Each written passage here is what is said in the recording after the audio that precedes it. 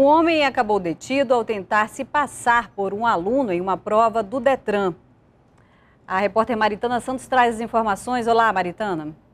Olá, Marcela. Felipe Diego Santos de Araújo, de 36 anos, estava tentando fazer a prova de direção de moto no Detran, no lugar de Edmilson Carlos Souza de Almeida, de 47 anos. Essa seria a quinta vez que Edmilson tentaria passar na prova. Ele assinou tudo, mas na hora do exame foi o outro que acabou se enrolando quando o examinador perguntou a data de nascimento e ele não soube responder.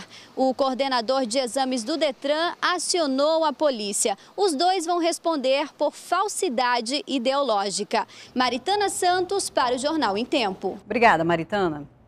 E a reforma administrativa segue em discussão na Câmara Municipal de Manaus. Quem tem as informações é o repórter Fred Rocha. A reforma administrativa da Câmara Municipal de Manaus foi enviada aqui para o Legislativo Municipal na última quarta-feira. O texto prevê uma economia de 570 milhões de reais, a extinção de cinco secretarias e o corte de 300 cargos comissionados. As mudanças já causam polêmicas por aqui. O prefeito ele justifica essa reforma administrativa dizendo que haverá uma economia de 570 milhões de reais, mas ele não esclarece aonde esses 570 milhões serão investidos. Se será em mobilidade urbana, se será na saúde, se será na educação, construção de creche. Na verdade, quando o prefeito economiza 570 milhões, ele reforça o grau de investimento da máquina da prefeitura. Hoje o dia também foi de reuniões sobre o assunto aqui na Câmara Municipal. Nós reunimos as comissões. É CCJ, Constituição e Justiça, Economia e Serviço Público, para dar encaminhamento à, à reforma. Houve um ponto dissonante com relação à Manaus Med, que por um, um equívoco na técnica legislativa, ela ficou no rol dos, dos órgãos extintos, mas ela passa a ser um órgão vinculado à Secretaria Municipal de Saúde. A partir da próxima segunda-feira, o texto deve ser votado em até 30 dias. Fred Rocha para o Jornal em Tempo. Obrigada, Fred. Pelo menos 30 casas correm risco de desabar em Boca do Acre, interior do estado. Duas já foram destruídas. O nível do rio baixou e os barrancos começaram a ceder. Uma área de 800 metros foi afetada. Agentes da Defesa Civil do Estado continuam no município e as famílias serão levadas para um abrigo. Os ovos de galinha produzidos aqui no Amazonas vão passar a ter um selo de identificação. É para garantir a qualidade do produto. O ovo ainda é o alimento mais barato. Na granja, ele é rigorosamente selecionado. Depois da seleção manual, uma máquina identifica imperfeições na casca do ovo. Os que não são aprovados no teste são pasteurizados. Nesses reservatórios, eles passam por uma mudança de temperatura.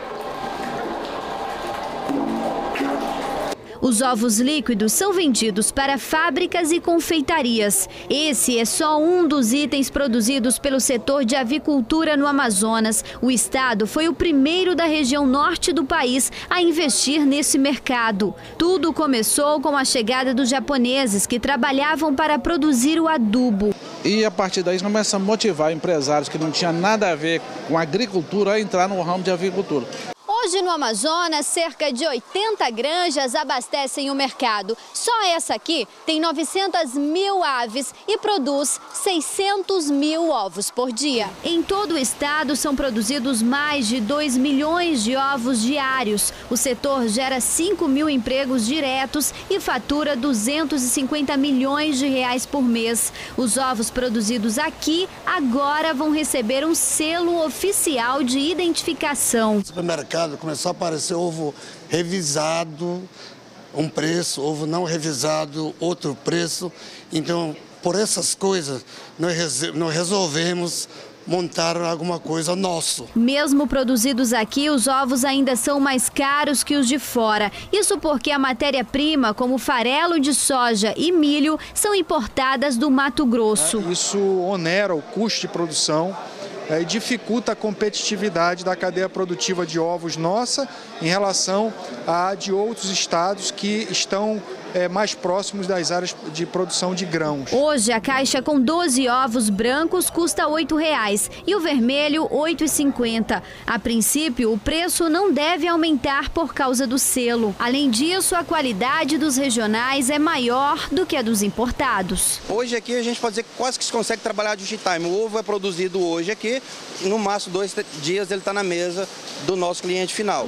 O ovo, além de barato, é nutritivo. O ovo é rico em ferro, né, em potássio, em zinco, em manganês e também ele é o único alimento que é naturalmente tem vitamina D. Cuidados com o armazenamento e consumo correto são importantes para manter os nutrientes. A seguir, idoso é atropelado em faixa azul da Avenida Mário Ipiranga. E ainda, motorista agride agente de trânsito depois de ter o carro guinchado. É já já.